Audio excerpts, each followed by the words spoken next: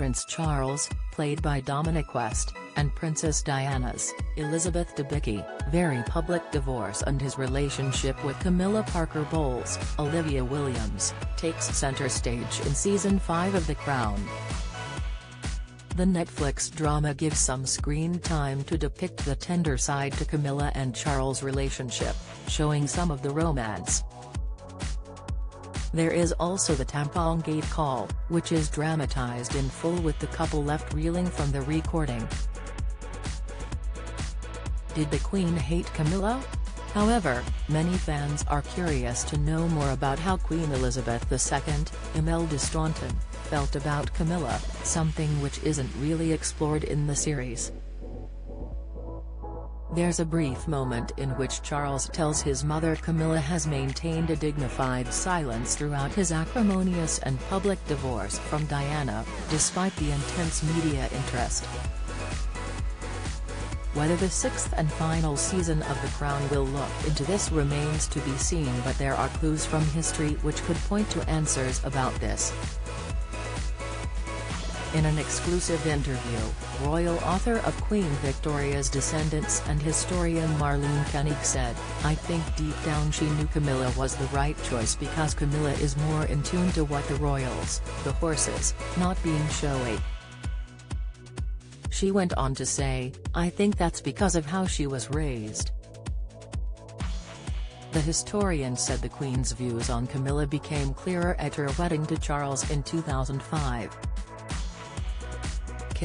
I think it became apparent at the wedding when she made the comment about they won the horse race and also watching her evolve as his wife, taking on more and more duties.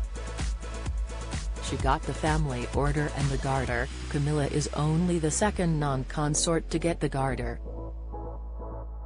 The Queen never gave the royal garter to her sister Princess Margaret but did give it to Camilla and others, perhaps showing how the monarch's views had changed over time.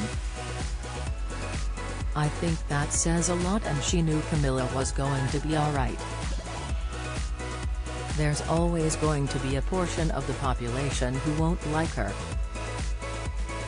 I think she's doing a great job, she said. Koenig said the Queen made sure both Camilla and Prince William would be at the accession council and would both see Charles become king.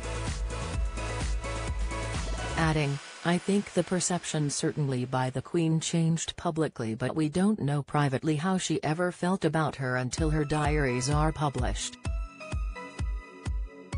Koenig also spoke about Camilla's first marriage and stressed the Queen consort was in love with Andrew Parker Bowles and her previous relationship with Charles ended. Andrew was also reported to have cheated on Camilla while they were dating as well as having a string of girls. Reflecting on Prince Charles and Princess Diana's union, Koenig said, Charles marries Diana,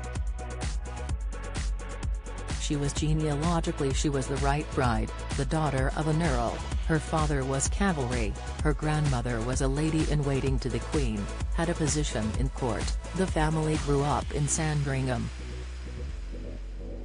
He dated her sister. As I like to say, they never courted.